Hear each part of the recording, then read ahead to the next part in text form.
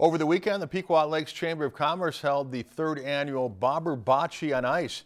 Due to the mild weather, it was not able to be held on the ice, but that didn't stop the event from being a fun and memorable day. Reporter Sammy Holiday has more with this week's Northwoods Experience.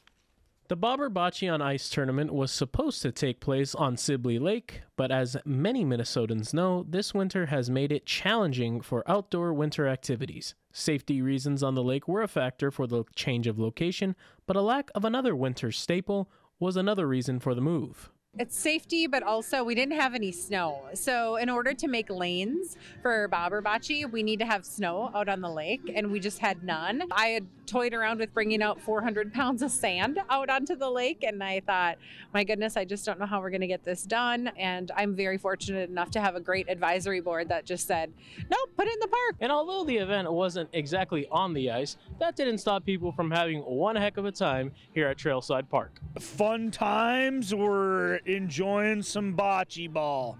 It's an outside entertainment and it's friends make it an annual tradition. We got a good thing going.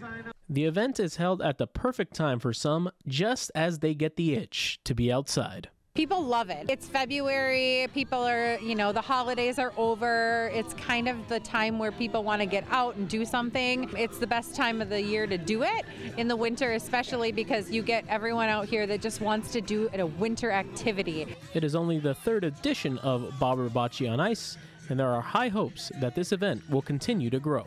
It's going to be huge. I mean, every year we get people that are returning back, and we also get new teams that come and sign up every single year. We know that it's just going to grow and grow and be something huge every every year. It's just getting bigger. So whether we have it out in the park or if we have it on the lake, people are happy to support it and just have a lot of fun. And we love having it in Pequot because we're able to help support our local businesses, and that's what I'm all about for the chamber is making sure that we can help support our um, our local and our small businesses.